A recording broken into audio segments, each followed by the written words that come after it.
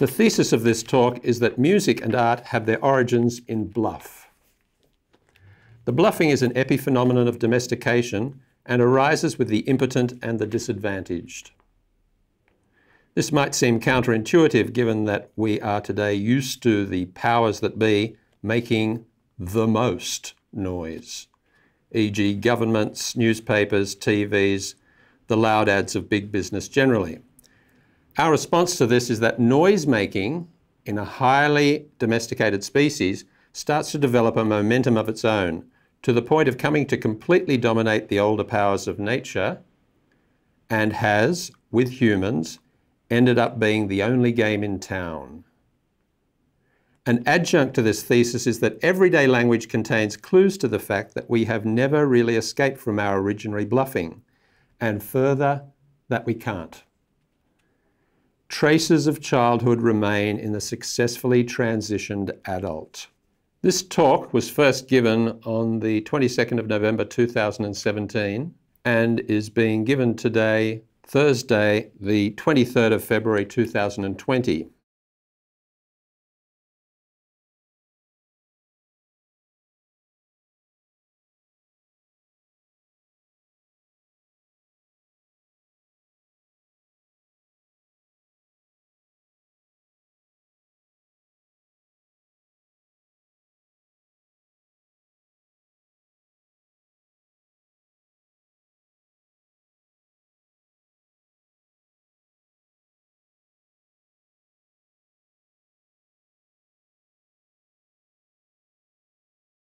The origin of music and all art. Introduction. According to the rock and jazz drummer Bill Bruford, the first moment in music occurred when two of our distant forefathers were in a cave, and one of them, let's call him Caveman 1, rattled some bones, and the other one, Caveman 2, said, Whoa, do that again.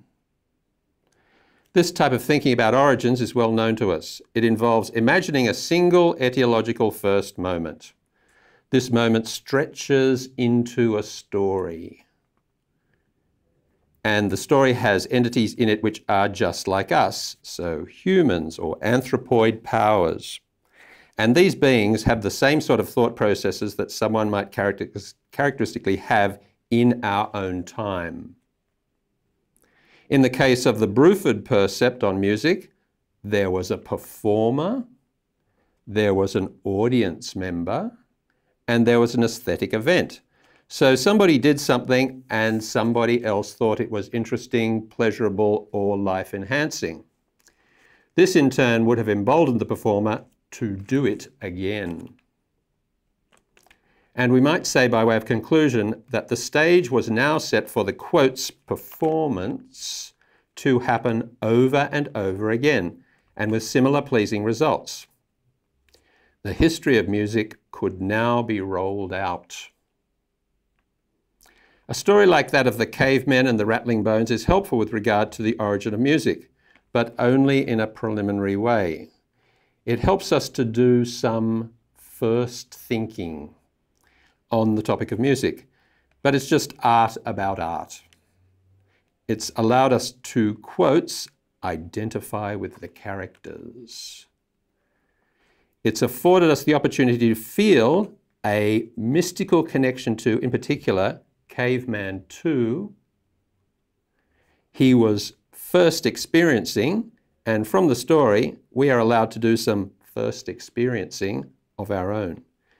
It may be that Caveman 2 was being reminded by Caveman 1's bone rattling of a shower of icicles, or of a rustle of leaves in a cool wind, or of playing with shells at the beach as a child. In other words, he was being reminded of some initial experience of being captivated by the outside world. But first thoughts, like that of the men in the cave, and like the ones in Bibles and in Iliad Odysseys, whilst they may get us started on thinking and may offer some sort of language limited explanation of where and how a phenomenon began, they do not help us out scientifically. And it is the purpose of this talk to make a case that music has its origins long before the advent of humans and their aesthetic excitations, and begins far back in time when animals began to make noise. Our goal in this talk will be to give a scientifically based account of how music emerged and to argue, in particular, that music and art are epiphenomena of domestication. According to me, and in line with my talk of 2015, domestication and speciation are substantially the same thing. The argument of that paper goes something like this Animals become a species by, so to speak, sinking into the landscape. They find a place to live in, a domos, and then adapt to living in it. Think of, say, a Darwinian Galapagos finch evolving just the right beak for cracking the particular type of nut on its particular island. The ideas of Darwin, however, only very partially explain this settling in process. Animals didn't only self-select on the basis of geophysics, they have also learned to cope with a problem that arises from their success in self-selection. The problem of population increase. After an initial domestic establishing through either lucky circumstances or success in competing against a group in their vicinity, the incipient species learns to carry out rudimentary intra-specific competition with one, warning signals, aposematics, and two, with rudimentary intraspecific specific capitulations, like those discussed by Konrad Lorenz, so-called triumph rite ceremonies. And an amalgam of one and two gives rise to a tolerable social order. Therefore, with speciation, there is not only a natural selection in the Darwinian sense, or a survival of fittest in the Herbert Spencerian sense, but also an evolutionary process born of a phase two phenomenon, of a sort of superorganizing within the species. The success of a species generates the need for internal communication and internal signaling to, in the first instance, keep aggression down between the individual members of the species, and in the second instance, to self prioritize the individual in this new world of domesticity. It is to certain aspects of the peculiarities of this internal signaling that results from domestic success, in particular the role of bluff, that we are turning our attention today. Part one Why do animals make noise? The first moments of domestication and insights from AI about the onset and persistence of game playing.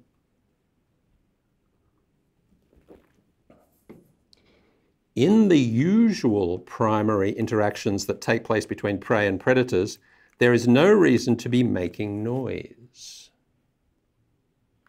The prey animals need to be quiet in order to avoid tipping off the predators as to where they are, and the predator animals need to be quiet in order to avoid telling the prey animals when they are arriving. So just from these two general observations, we can get a sense that animal noise did not have its origins in the domain of capital TW, the wild. Noise has instead arisen in an altogether different domain, the domestic. A bit more precisely, noise has arisen between one, conspecifics, and between two, animals that are in some significant way evenly matched. And in particular between three, animals that are likely to run into each other a lot. I've drawn a diagram to demonstrate this bifurcating process. Here are two multicellular creatures or animals they are not necessarily conspecifics, but are two animals that, for our purposes, are roughly the same size, although one is bigger than the other. And its bigness can just be emblematic of some other advantage. Out in the wild, for every time that this bigger animal can deliver a blow, and I've drawn here three top-down blows.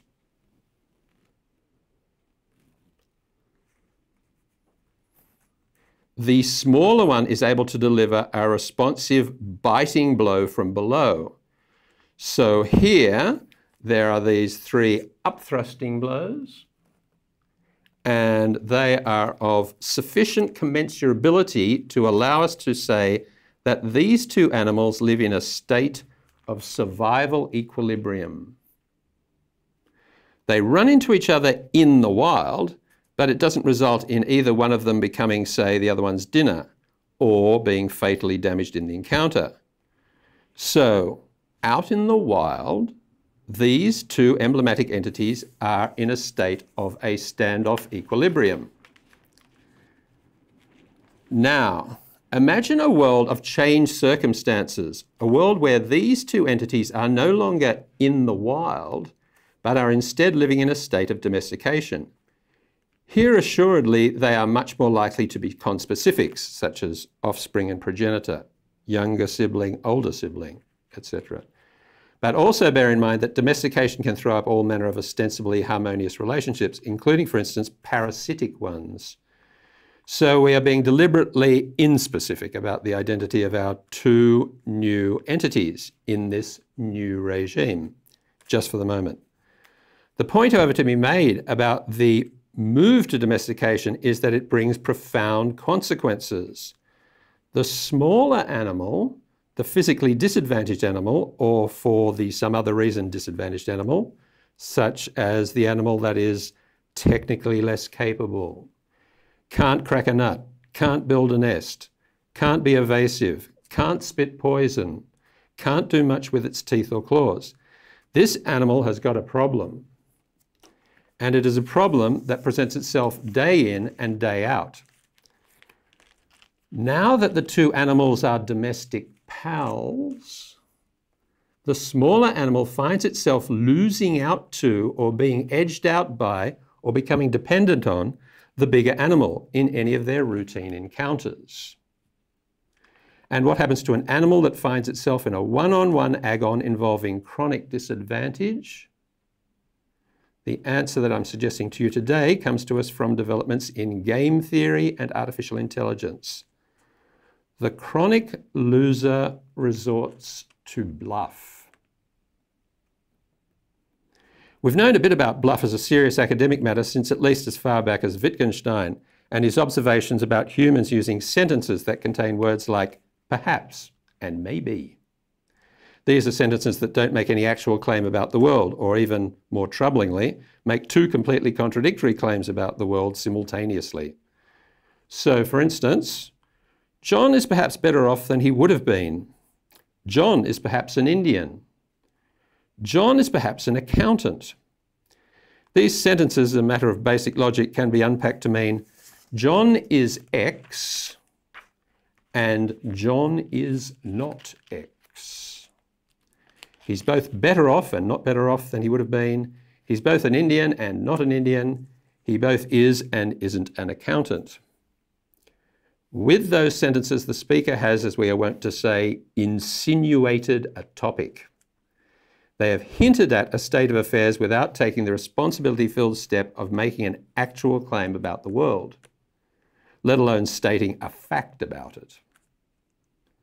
Having introduced the topics of the statistical probabilities for John's welfare, John's nationality or ethnicity, John's day job, the speaker is directing the listener to where they wish to take the discussion.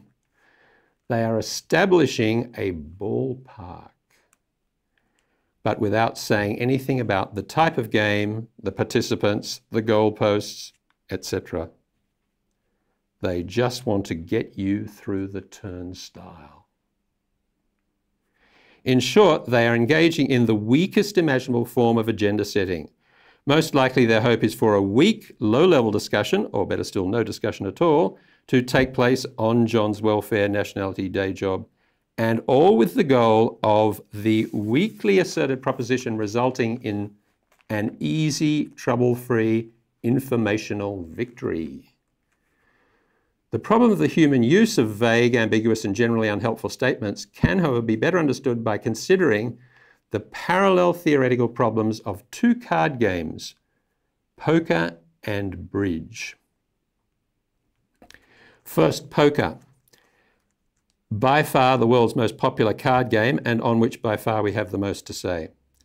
In papers written in the 1920s and later on in the basically unreadable book, The Theory of Games, 1953, the mathematician, physicist, artificial intelligence and computer pioneer, John von Neumann,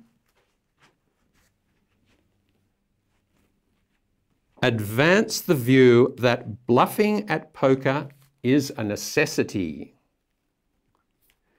Because there are, roughly speaking, optimal equilibrium strategies at poker, think optimal strategies for betting accurately with promising hands, poker could, in theory, go the way of tic-tac-toe, i.e. noughts and crosses, and become a completely, quotes, solved game, and hence, in a way, a dead-end activity. What, however, makes poker a viable human pastime is bluffing. So pretending to have more when you have little, and not really concerning us just at the moment, pretending to have little when you have a lot.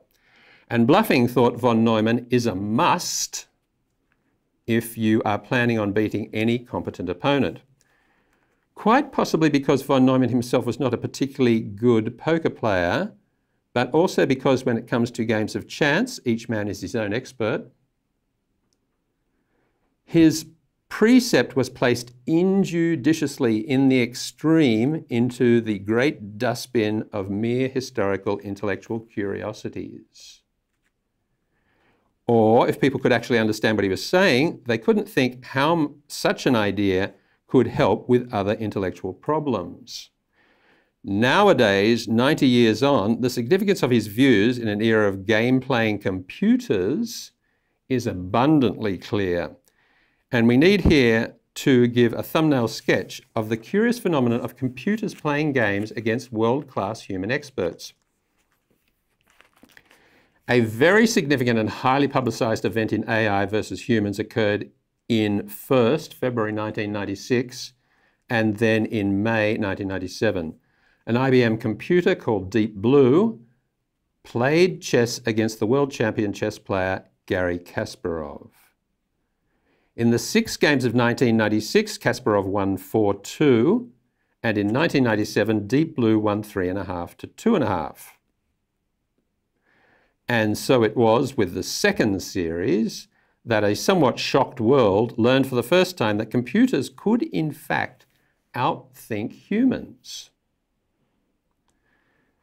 There were a number of points of interest in this 12 game series, but I only want to direct your attention to one of them. It is the final moment of the sixth game in 1996 where this was the state of play.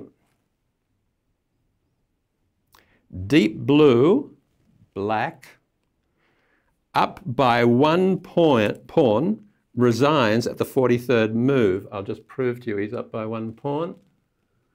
One, two, three, four, five, six, seven. One, two, three, four, five, six. Up by one pawn and resigns.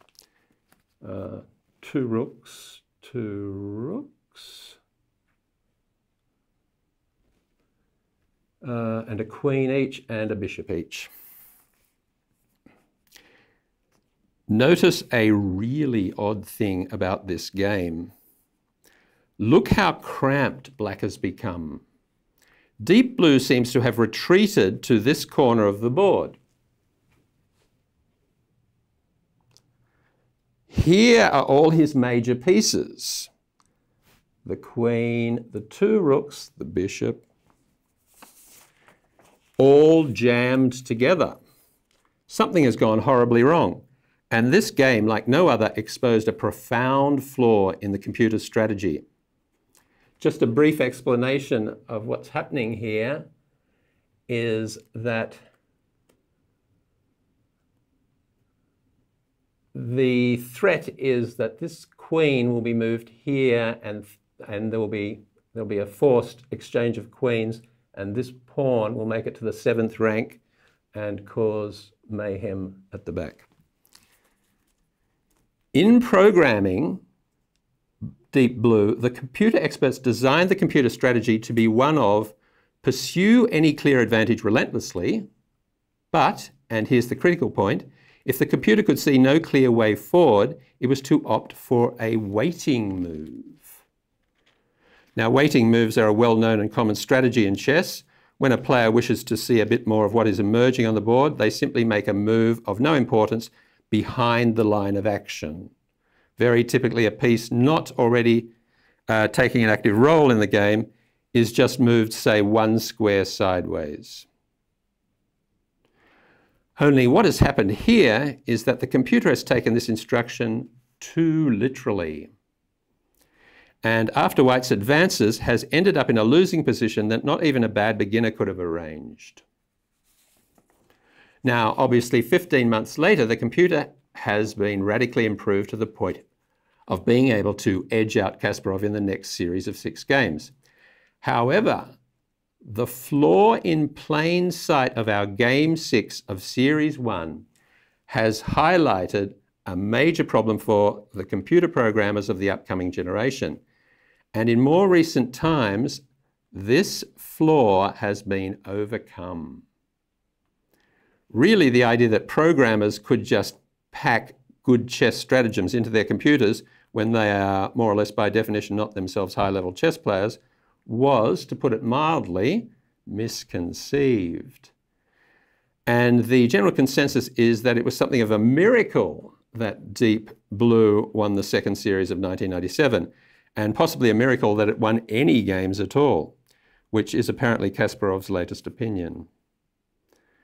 Nowadays, a completely new strategy has been adopted for programming computers to play human experts at games.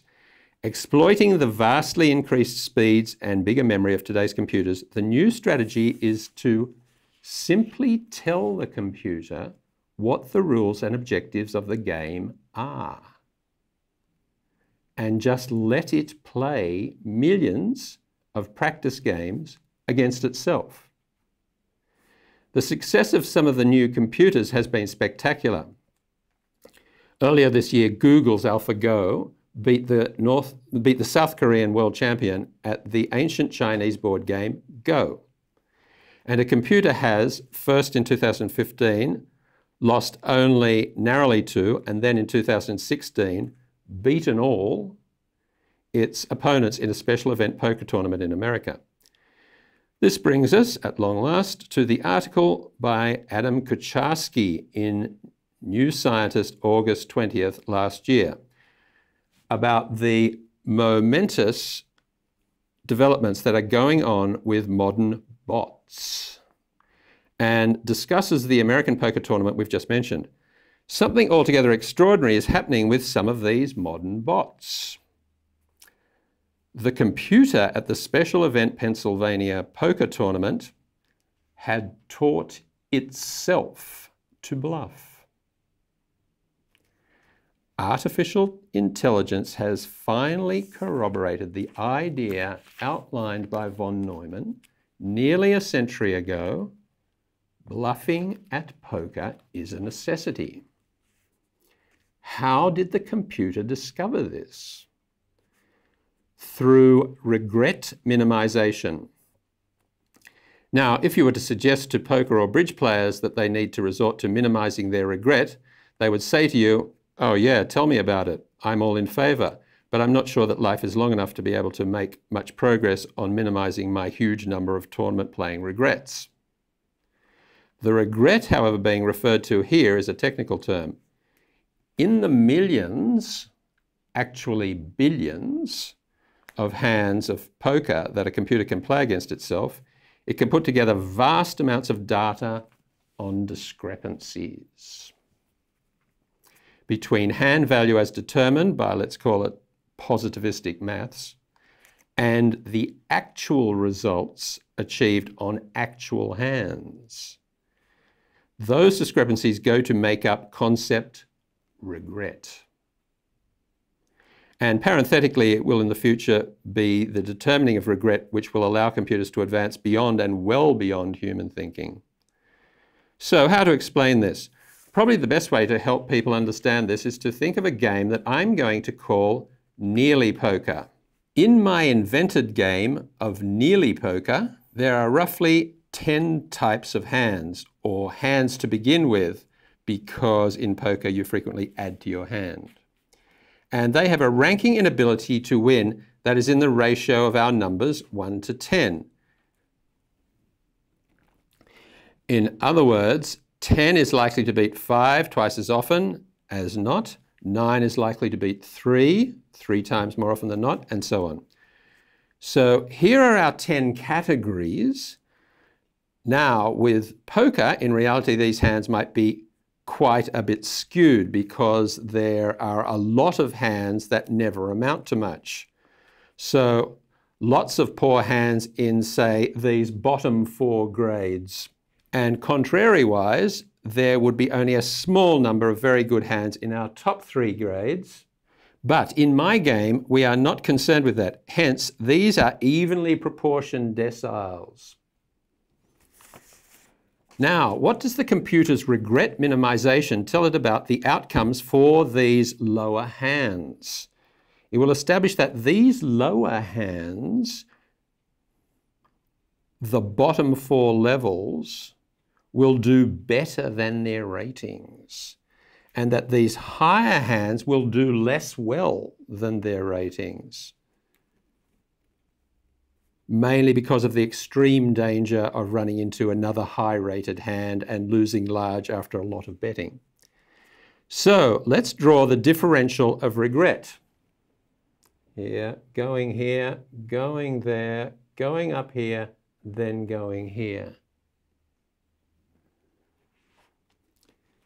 We learn, along with the computers, that a certain amount of bluff will do better here In the middle, accurate assessments will work best.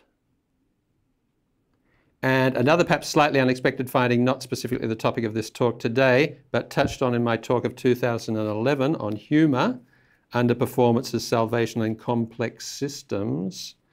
These upper hands 10 to 8 are best dealt with by under advertising and quieter betting. So in summary, if you were to act on regret minimization, you would end up bluffing at both ends of the spectrum of hand power. Just to give one quick example of how this primary or quotes aggressive bluffing, bluffing could work, this bluffing down here. In the real world, consider this situation. There are five players. They all hold averagely bad hands, a not unusual occurrence at poker. So hands from our 1 to 4 zone. The first player to bet, instead of folding or checking, i.e. passing, or making some token bet, bets say double the token bet. Now, if all the other four players feel sufficiently intimidated, they all fold. And the first player wins the pot without him holding any particular hand whatever it, if he was about to lose to one, two, or even all four of the other hands, it doesn't matter. He just ends up winning with what might well be inferior cards. So I hope that helps with the topic of regret minimization and how it relates to modern developments with AI. I do, however, have to draw your attention to one more important element in von Neumann's thinking that is not mentioned by Kucharski and which is beyond my nearly poker explanation. Von Neumann thought that there were two kinds of bluff. The first is the regular bluff we've been talking about, usually with a hand in the 1 to 4 zone, so pretending to have more when you actual, than you actually hold. But the second kind of bluff is bluff seen from a completely different angle. It's not my second type of bluff, bidding low when you have good cards, zones 8 to 10. This is, let's call it, accommodative bluff. and is when you simply call or see your opponent, but with only average cards. This has come into the English language as calling somebody's bluff. Now, why is this itself a bluff? Well, let's first just state what von Neumann's view was. It's a defensive strategy of calling irregularly with average cards. So this is where you hold, say, level four cards, and you end up against an opponent who has bid to indicate what sounds like levels five, six, and seven. And as an option, you just call, not because you have the value hand to win, but because of the possibility of finding the opponent holding the primary aggressive bluff. And so you plan on winning sometimes with a better low level hand than the opponent is holding. Enter counter bluff. Here one gets a window of insight into how the game could give rise to a certain amount of escalation on both sides, both by way of bluff. But where category two is a more measured stance to that adopted by the initiating and aggressive bluff, category one. Now, if you've followed everything I've said up to now, you might be interested to learn a detail just mentioned in passing by Kucharski. That the expert poker players have now, now since the tournament, the Pennsylvania tournament, have now modified their game when playing these bluffing capable bots. to themselves be playing a game with less bluff and employing a greater reliance on accuracy. Because, critical point, now that bluff has become a new element in the always going to win strategy, it has become part of the new equilibria. And the human experts themselves find it advantageous to slightly retreat into accurate maths Hence observe a sort of variation on the concept of arms race. Here, an arms race between inaccuracy and accuracy, but where greater accuracy is going to work out better in the long run. And notice further a point of more than passing interest, namely that it is not a foregone conclusion as to who will win head to head in competition between computers and human experts at poker in the future because of the process of a continual recalibrating between bluff and accuracy. And notice just quickly the case of the game of contract bridge, where humans are playing a game where the bidding to win the contract always takes place at quite a high level, and where as a result, bluff is so enmeshed in the accurate bidding that computers will not be beating humans at it for quite a while yet, if ever. Here we might be looking at an aspect of the idea introduced by Kurt Gödel in 1931, the undecidability principle, or to give it its correct name, the incompleteness theorem. Namely, that there is a sort of black hole at the center of any system you devise. At what time in the future will a computer be able to cater for what a bridge player had for breakfast, or how they are getting on financially, or how they are getting on with their spouse. How more generally could a computer cope with human spite or human exasperation? All of those things that I've just listed can be playing a role in what is going on at a bridge table. So, just a quick summary of part one. We may seem to have drifted a long way from where we began.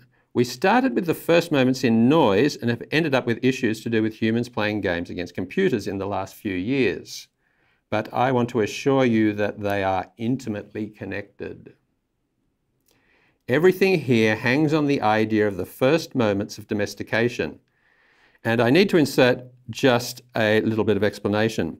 The first moments in domestication that we are talking about have nothing to do with what are popularly held to be the first moments in domestication, even by textbooks in universities namely that period 10 or 11,000 years ago when humans learned how to domesticate some animals, some plants, and apparently themselves. The domestication we are talking about is one of a large number of moments in the deep history of animals. For instance, when a bird built the first nest and provided a place for its young to live, it fatefully changed its own species permanently. Sequestered from the outside world, the bird's chicks became protected from, quotes, the wild and the wind and the cold.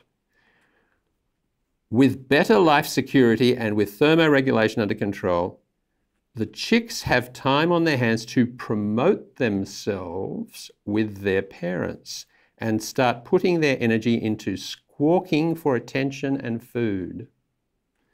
So begins a long story of self promoting noise ranged against the powers that be. A story whereby the powers that be, the majorants, to use von Neumann's preferred term, probably from French mathematics, take on some of the tactics of the minorants. Since, to make an obvious point, the young grow up to be adults. But in any case, animals continually find themselves in non lethal one on one confrontations with animals in their vicinity. And so, long before the time of humans, animals are already involved in one big symphony of noise born of domestication. Part two From Noise to Music. So far, we've explained only how noise began. Now it's time to turn our attention to music. What's the difference? Music is noise that humans like. But why do humans like certain types of noise? The answer to this seems to be that particular noises evoke certain moods. And taking up residence within these moods from time to time energizes or consoles or even provides instruction for human brains. The first people to ponder this problem, as far as I know, are the Greeks. Rather helpfully, the Greeks give commentary on what they call tone, a word that has had a long run in Western ideas about music and art. What the Greeks meant by hoi tonoi, tones, was rather specific. They were what we today would prefer to des describe as styles, whilst many writers have given a list of tonoi that could run to 10 or 12 there was an agreement that there were three main ones Dorian, Phrygian, and Lydian. The Dorian, as its name suggests, was more appropriate to the mainland Greeks themselves, a style that was masculine, moderate, regular. Phrygian, in other words, pertaining to northern Anatolians and people who were either not Greek or not really Greek, was a style that was womanish or men out of control-ish, overexcited, agitated. Lydian, in other words, pertaining to central and southern Anatolians, or to Mesopotamian types, was something of a verso of the Phrygian style, a style of indolence and melancholic stupor. So, when Greeks explained music to themselves, they were indulging in what would seem to us today a sort of aesthetic racism. However, it's all rather revealing. Whilst music placed you, you the average Greek, at the centre of an aesthetic realm, it also allowed you to travel to extraordinary, odd, mentally different places. Somehow, I don't think this idea has ever really gone away. Music places you, you the listener, at the centre of experience but also allows you to travel to the land of extreme experiences. So, in a song, an everyday song, you will frequently have a singer expressing some easily identifiable uh, sentiments or some intelligible storyline, but that singing voice finds itself within some wider context finds itself amidst a varied accompaniment of musical instruments which usher the basic sentiments or basic storyline of the singing voice through an exotic terrain. So, what I think remains to be explained is how did we go on the journey from the origins of noise to the performance of an entertaining and emotional display, where you, the listener, find yourself swimming in a bath of emotions of someone else's devising, perhaps accompanied by or directed by the singing voice, and thinking to yourself, oh, yes, that's an authentic expression of some point of view or some aspect of experience. To do this, let's recapitulate what is happening at the beginning of the journey. Animals were living in the wild, but then they domesticate themselves. With the onset of domestication, you have the expression of noise, and once you have this noisy expressivity in a species, you have animals actively working on having something to express. But do they have something to express? Because the expressors are, in the first instance, minorants, engaged in a sort of game playing situation, there is a significant element of bluff to the allegedly important noise communications. So, how does bluffing noise come to mean something? Well, initially, noise assuredly means I'm here, I'm healthy, I have my mouth open, and in some cases, so how about feeding me? And in other cases, so how about backing off in case I bite you?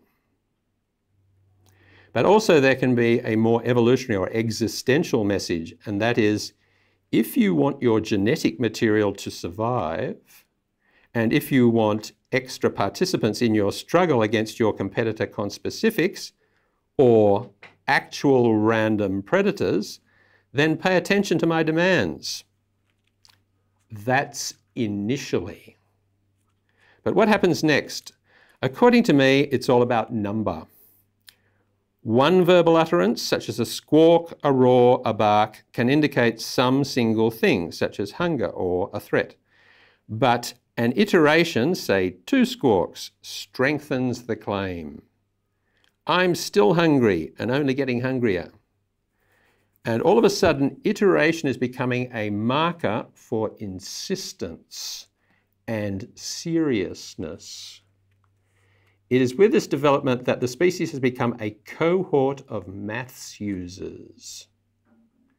Next, the species learns that their insistence can be coded not only through sheer repetition and the rhythmic patterns that can be set up by, so to speak, the repetitions of the repetitions, i.e., by the cyclic use of repetition, but also by pitch.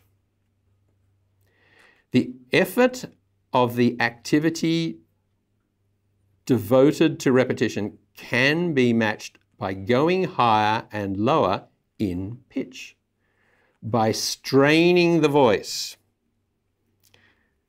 Notice teno, to strain and to stretch. And the noun tonoi had a primary meaning of simply scales. So you have to strain to go high and strain to go low, and both can signal seriousness and urgency. Shrieks and squeals up high, growls and grunts down low. And so it is that with rhythmic, rhythmic pattern and the use of pitch, that a basic musicality, a meaning, a rationality comes to be introduced to communications between conspecifics or to all but the deaf. And add to all this the calibrations of volume. They are a further indexing of insistence. Loud, for I really mean it.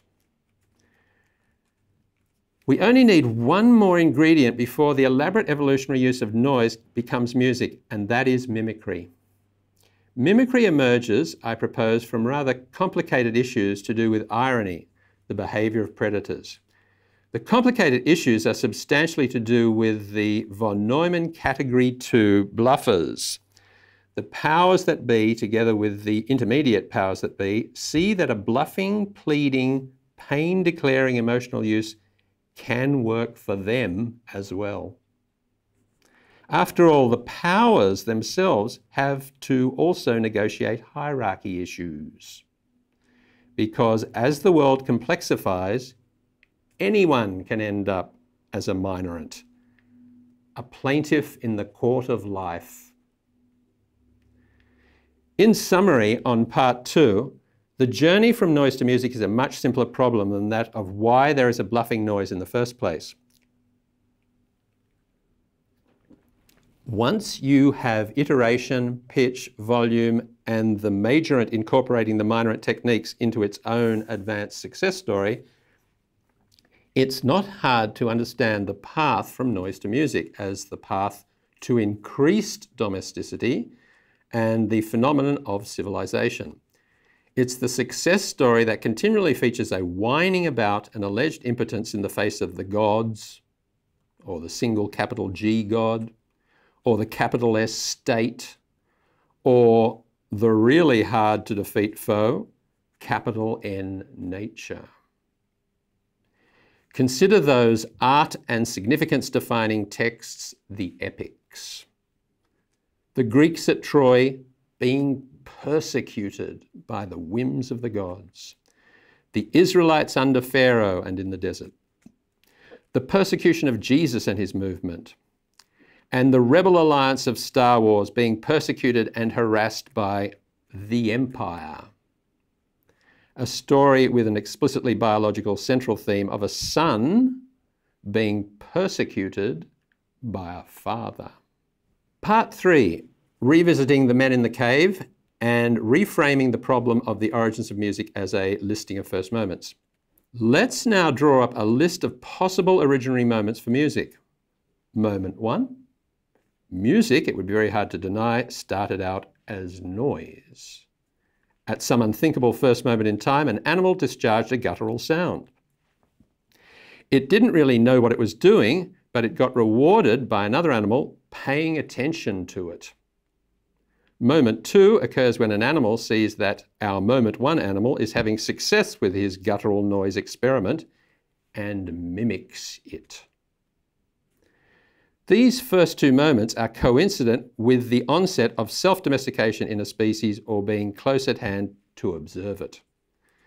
Moment three only occurs much later. So, moving rapidly along and skating clean past mere animals, we come to humans. The humans are signaling to each other. The hunter whistles to his fellow hunter. A mother murmurs and mutters and perhaps even hums rhythmically to an anxious child. Have we, with moment three, arrived at category music? Sort of. The hunter may be mimicking a bird to stalk prey, so irony, a high use of noise. And the whistling can involve accurate information being transmitted to his fellow hunter. Information such as, you go further right, or come back this way. So accurate information, again, a high use of noise. The mother may be adopting a von Neumann counterbluff strategy. Her noises are designed to express the idea, calm down, everything is going to be all right, and this is in response to the child's shrieking claim that the world is a disaster and that everything is not all right. The mother doesn't know that everything is going to be all right, but she wants to employ this strategy to have some domestic peace and to avoid raising a disturbed child that openly vents every fear or concern. However, notwithstanding the hunter's undoubted skill at whistling and the mother's undoubted skill in rhythmic song, I don't think these phenomena should qualify as music. And our next category will explain why. Moment four. Here we return to the cave and where this talk began. We don't, however, think that the first moment in music was a rattling of bones. But we do think a cave is fertile ground for the search. It's a simple matter of physics. Musical effects are generated by cylindrical structures like gullets or throats. The waves of noise bounce off the sides and the noise waves increase volume and tonality demonstrations with expensive props.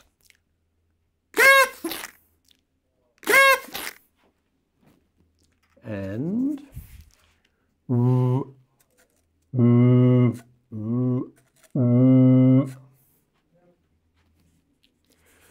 With the phenomenon of caves, we might now be arriving at something that might conform to a modern person's conception of music. And there is a lot more to back up the idea that music began in caves. 35,000 years ago, something genuinely significant seems to have occurred in the history of our species. Around this time, in caves in southern Europe, visual art starts to appear. In early TV documentaries about this phenomenon, the show presenters, perhaps with a knowledge that rocks and stalactites and stalagmites can make bell like sounds, or with the presupposition that crowds of people may have come to either see or to make the cave paintings, uh, they would frequently refer to these sites as the cathedrals of early man. Now, however, we know that they are likely to be far more literally correct than they could ever have known. First of all, a number of odd discoveries have been made in European caves. Artworks have been found in some extremely cramped and difficult of access locations within caves. They are in places so difficult of access that it has raised questions about who was supposed to have viewed the art. Was it just for a select few? Or was it even for only one person? Say, the shaman of a group. Whatever the case, the nearly completely hidden images strongly suggest that what we are dealing with here is concept religion. The idea of hiding away sacred or special objects is prominent in the long history of religion. Further, amongst the cave wall images, there are some telling depictions. Depictions of animals and of animals being hunted. Originally, it was innocently thought that the animals depicted were a food source for the locals in the act of catching dinner. So it was something of a revelation to learn that the animals were not part of the locals' diet. Yes, the hunting figures may well represent the local hunters, but whatever it was they hunted, it was not the animals depicted. This is a clue to the idea that the image is religious, so sacred, abstracted, otherworldly. However, all that can be as it may, what is of most interest to us today has only been proposed just recently by people studying something called archaeoacoustics. According to at least one of these archaeoacousticians, featured in the documentary How Did We Get to Now, episode 6 Sound, Iegor Reznikoff, the images in the caves have been deliberately located at places of maximum acoustic advantage. In other words, it is most likely that the pictures were only part of some community activity and the community activity involved noise and highly probably song. This is now starting to look much more like what we would call music, the phenomenon called since the time of Wagner the Gesamtkunstwerk, the all-in performance, sound, visuals, drama, and perhaps dance. The noise here is being made in the context of a complete and emotionally involving experience of the world. The audience is enclosed in a bubble of sonic turbulence. But there is one obvious question that needs to be asked. This is happening in southern Europe and 35,000 years ago. Why there and why then? There is a probable answer for this as well. Let's begin with a review of the historical situation. We can't say that art and music literally began 35,000 years ago because, point number one, people were using red ochre from about 120,000 years ago. See the archaeology of the Klasies, K-L-A-S-I-E-S, site in South Africa. And because, point two, antlerbone flutes have been found in Germany dated to 43,000 years ago. But what I'm contending is that our full-blown aesthetic Gesamtkunstwerk may well have started in the middle of the period 40,000 to 30,000 years ago, owing to one single event.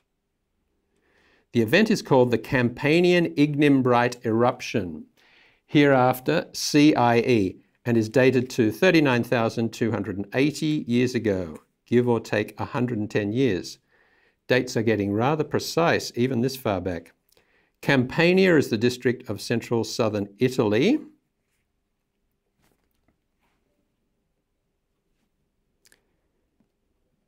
Ignimbrite is lumps of material that are produced by major volcanic events, and eruption here describes the action of a discharge from a supervolcano. The eruption came from a well-known seismic area west of modern-day Naples, known as the Campi Flegrei, or in English, the Phlegrean Fields, and is not far from the better known to history site of Mount Vesuvius the volcano that famously rained down and buried Pompeii. There is quite a lot to explain here, but I'm only going to give the bare minimum. The CIE is a category 7 on the Volcanic Explosivity Index, which goes from 0 to 8. Each level is an increase in explosivity by an order of 100 times. To just give some points of comparison, the Mount Agung in Indonesia volcanic eruption of 1963, recently in the news because that volcano is giving signs of going again, was a level 5. Vesuvius in 79 AD was also a level 5. Krakatoa 1883 was a 6. And for the classicists, the Thera Santorini eruption of 1620 BC was either a 6 or a 7. In the level 8 category, there have only been four cases in the last 36 million years. Two in America, one in New Zealand, and one that deserves a little scrutiny from us, the Toba eruption of 74,000 years ago. Toba is in Sumatra. The emissions from Toba are thought to have engendered a worldwide volcanic winter of six to 10 years and possibly a thousand year long cooling event. Now, our CIE, only one category below, would, in Campania, our CIE, would have had similar after effects. Widespread climate altering and life threatening consequences. There would have been an acid rain phenomenon of sulfur dioxide and chlorine. This would have entered the plant biota and caused in humans dental fluorosis and eye, lung, and organ damage. The ash itself would have had consequences for any life directly in its path, like killing it. And its path was considerable, stretching from Italy throughout most of the eastern Mediterranean, all the way down here and making a swathe of hundreds of miles, of hundreds of miles wide that would have extended into Central Asia.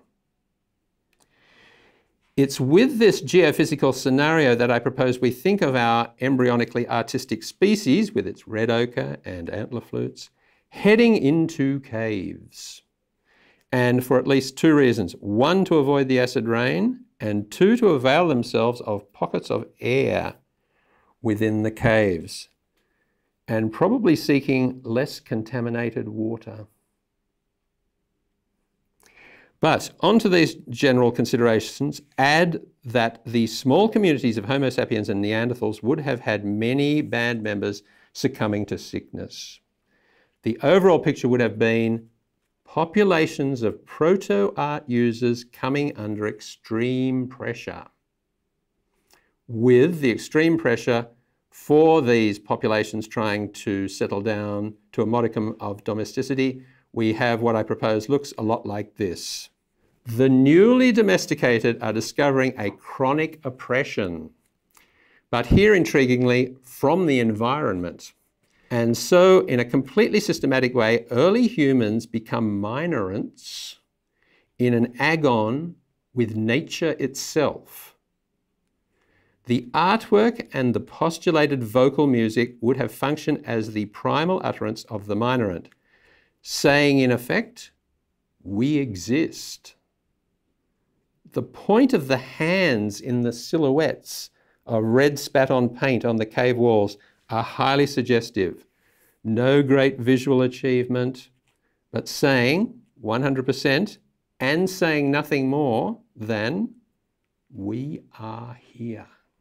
Part four, a brief look at the more general question of how art began.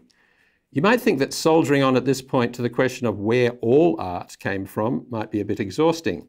But I think that once you can grasp how the idea of tone emerges, in other words, how emotion and high order game playing can be grafted onto purely natural phenomena, such as vocal display, it's not that difficult to understand how what is called art emerges. To make this manageable, we are going to look at just one aspect of the art problem, colour. And colour for our purposes can be black and white. To get us started, a quick run through of general points. One, with evolutionary success comes population increase and domestication. Two, the success high population domestication nexus brings a need for lower aggression. Three, this aggression lowering happens in a completely natural way. The prosperity of the species brings longevity. The longevity brings older breeding pairs. The older breeding pairs bring staggered cohorts of offspring, together with such phenomena as the older offspring taking on the roles of asexual parents and a prolonged juvenile stage. And with this latter, a cultivation of neotenous characteristics such as play. The specific biological component in this drift towards neoteny and evolutionary complexity is parents expressing less and less testosterone as they get older. That's our overall evolutionary picture. Where does colour come in? Well, originally, the most likely reason for colour is camouflage. Animals towards the poles are white, and the closer to the equator, the darker they get.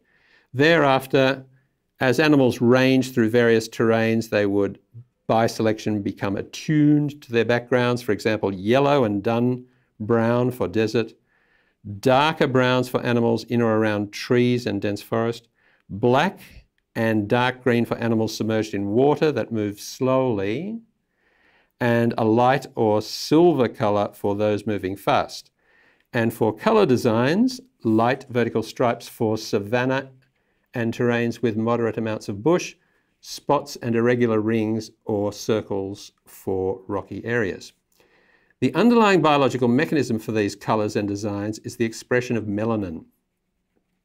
Melanin is, in the first instance, a completely natural skin pigmenting to protect animals from the sun. The gradations in the expressions of melanin are identified by us as colours.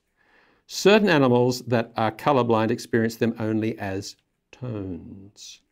Colour for camouflage is, however, only a starting point. Later on, colour can be a marker for health, vigour, capacity to produce poison, aggression, etc. And this marker can be taken to extremes in the fecund world of the tropics. So much for a general overview. For our investigation proper, I thought we might look at just one notable case of colouring in a not especially exotic milieu, the black and white striping of zebras. Because of their piebaldedness and suspiciously mathematical looking stripes, zebras could be mistaken for a domestic species by, say, an intelligence from outer space. But the case of zebras rather perfectly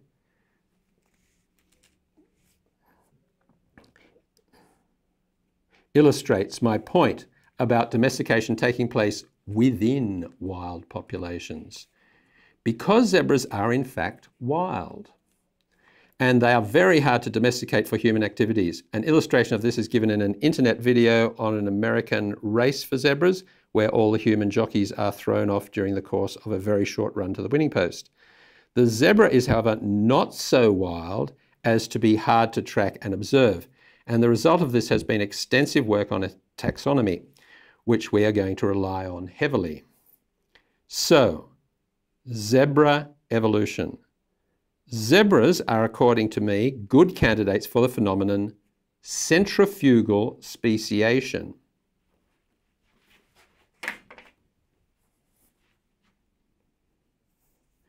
To explain this very briefly, animals living, say, here, they experience success, so their numbers increase, and as a consequence, they spill out into territory not originally theirs.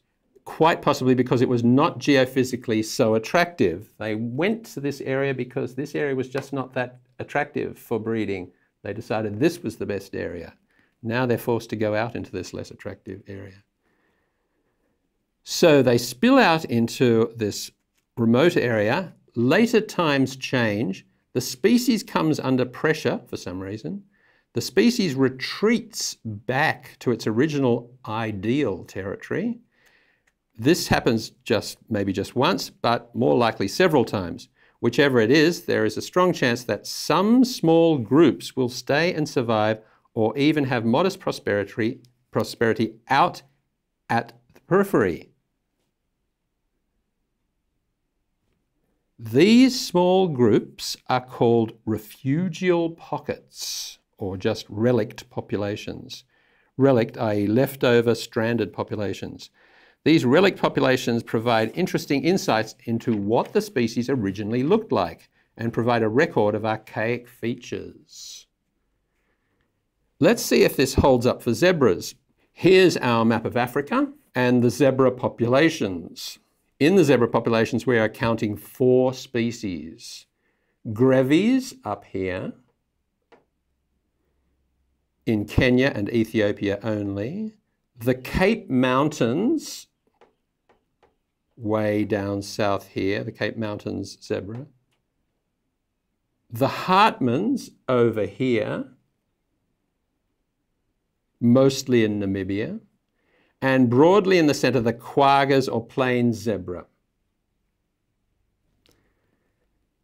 Notice straight off a nice number of smaller territories for the peripherals. And notice the concomitant for this, small populations. The Grevy's, 2,600 only, and in danger of going extinct. The Cape Mountains, 1,700 and in similar danger.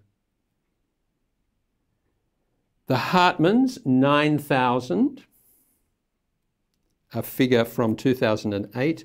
The centrally located quaggas or plains zebra, on the other hand, despite declining populations, still have the big numbers, variously estimated as 500,000 through to 660,000.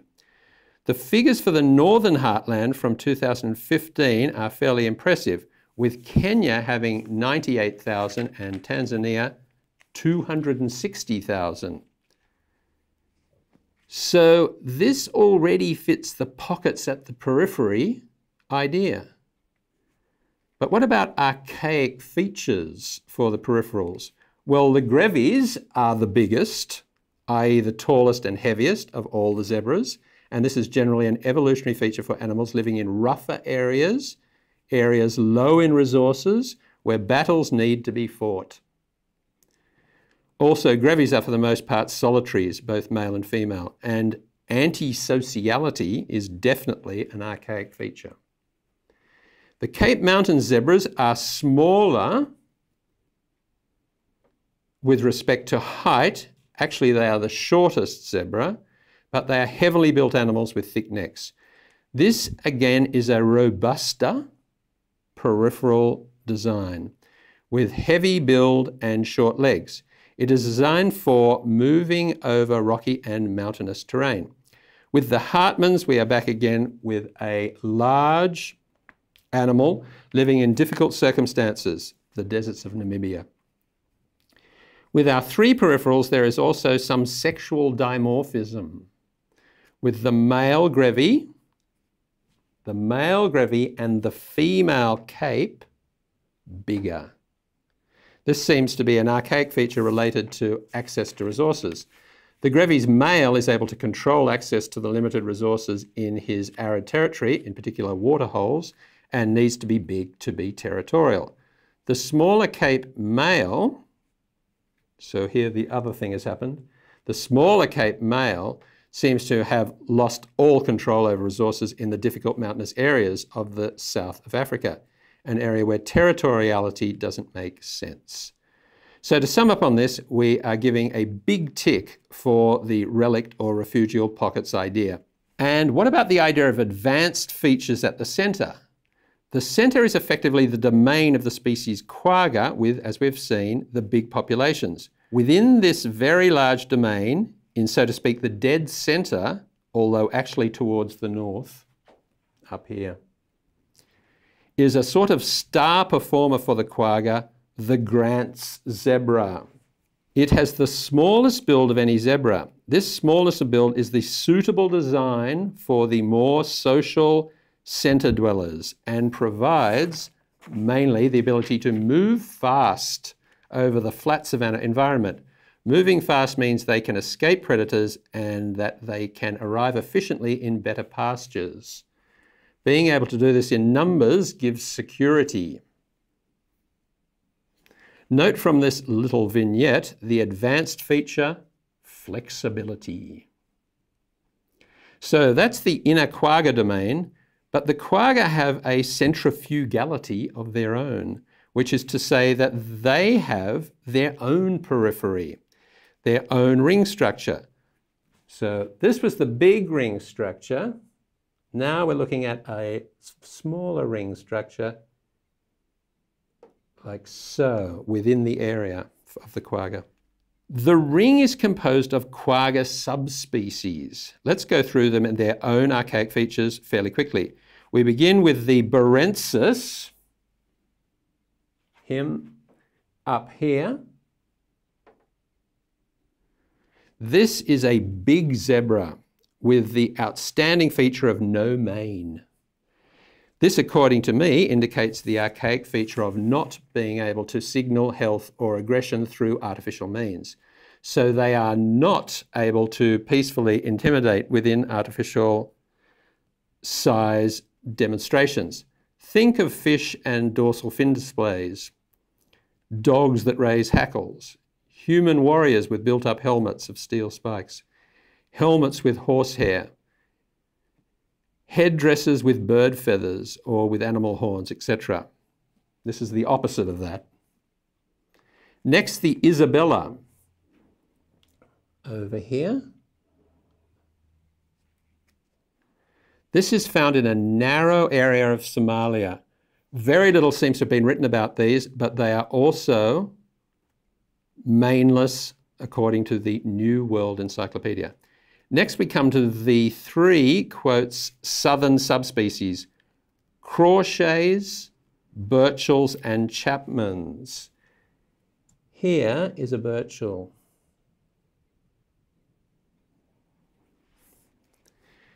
I'm grouping them together as a completion of the going around of the Grant zebras up north. So a completion of this. There's a going around in a sense of the central grants. But we have run into a problem.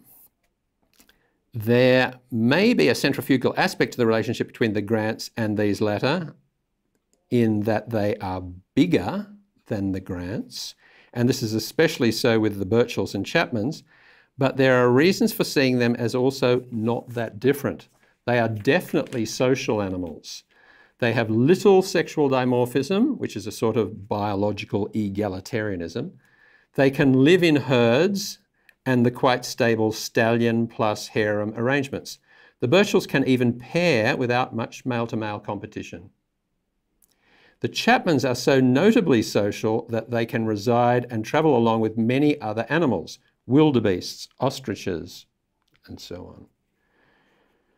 So what's actually going on here? At the centre, with the very light two-tiering Grants versus Southerners speciation.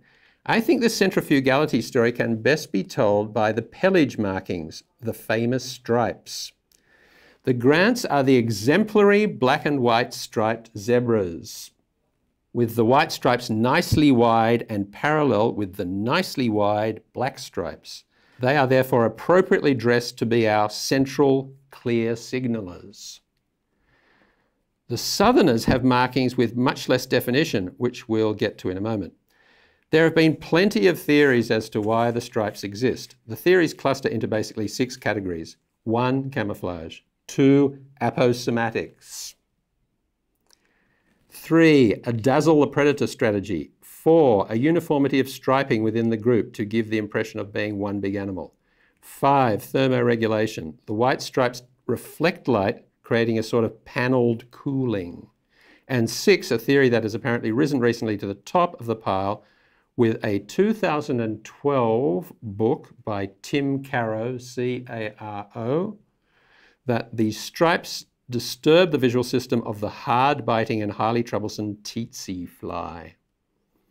There might be a number of reasons for this latter, but at the very least, flies and many insects are highly sensitive to light differentials and more generally don't like being in the dark in the day and don't like being in the light during the night.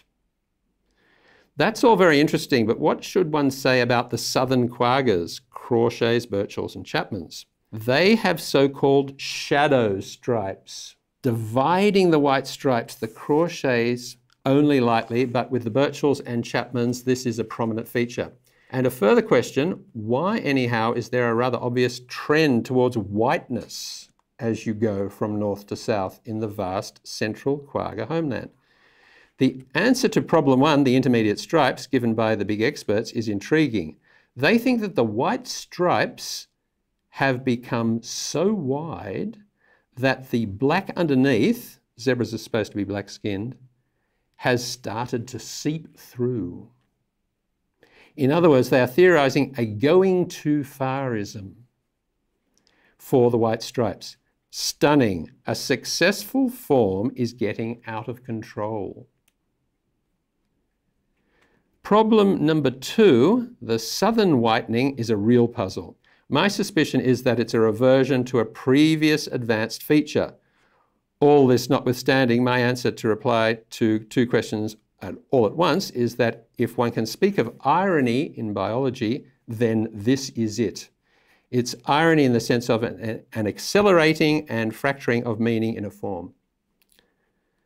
In the same way that human civilization can be considered a curious mixture of accuracy and irony, so with evolutionary developments in the general run of nature. The problem with Caro's one idea explanation regarding the stripes is that when it comes to signals in nature, there is dynamism. It's a fact of evolution. Signals mean what they mean until they start getting mimicked or become too widespread or become too predictable, or just aren't doing what they were previously supposed to do. Caro's answer is only, so to say, approximate explanation, probably just an answer for the Grant's pelage. Caro, it should be noted, was stationed in Tanzania for his experiments where there is a predominance of grants. He's, he's further up north in this whole territory.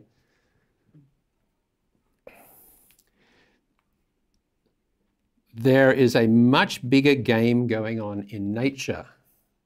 It involves the well-known game theory principle, nothing works all the time.